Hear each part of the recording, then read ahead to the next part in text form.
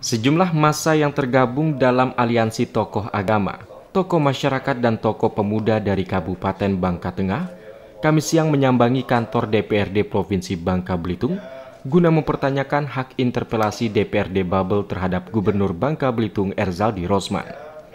Mereka menuntut hak interpelasi tidak dilakukan karena kepemimpinan Erzaldi yang belum genap satu tahun dinilai cukup baik dan sangat pro rakyat. Untuk itu gabungan beberapa aliansi masyarakat ini menginginkan adanya hubungan yang harmonis antara legislatif dengan eksekutif, sehingga provinsi ini lebih maju demi kesejahteraan masyarakat Bangka Belitung. Namun sayangnya dari 45 anggota DPRD Provinsi Bangka Belitung tersebut, tidak satu pun yang bertemu dengan tokoh-tokoh penting di Bangka Tengah itu, lantaran sedang melakukan kunjungan kerja ke luar daerah. Padahal jauh hari sebelumnya surat sudah dilayangkan untuk mengkonfirmasi kedatangan sejumlah tokoh masyarakat ini. Kemudian kami menginginkan adanya hubungan yang harmonis sebetulnya antara eksekutif, eh, legislatif dan eksekutif. Bersinergi lah antara legislatif, antara eksekutif sehingga Bangka Belitung yang kita cinta ini, Bangka Belitung yang kita banggakan ini berkemajuan masyarakatnya sejahtera, ya pemimpinnya juga eh, bersinergi. Nah ini yang sangat kami harapkan.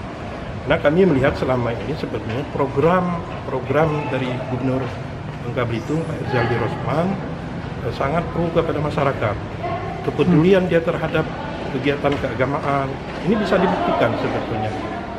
Beberapa kali beliau mengundang penceramah malahan bukan hanya lokal, nasional, hmm. malah internasional pun beliau undang untuk mensiarkan Islam ini.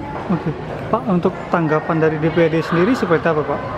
Gimana? Tanggapan DPRD, Pak, terkait kedatangan kita ke sini. Ya, kami inilah, kami sangat sebetulnya kami kecewa ya, yang hadir tadi bukan anggota DPRD yang menemui kami, hanya sekretaris dewan. Sedangkan kita tahu sekarang Sementara itu dukungan kepada Erzaldi Rosman terus mengalir dari sejumlah ormas.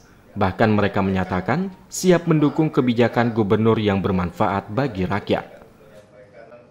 Dari Pangkal Pinang, Bangka Belitung, Haryanto Ainus melaporkan.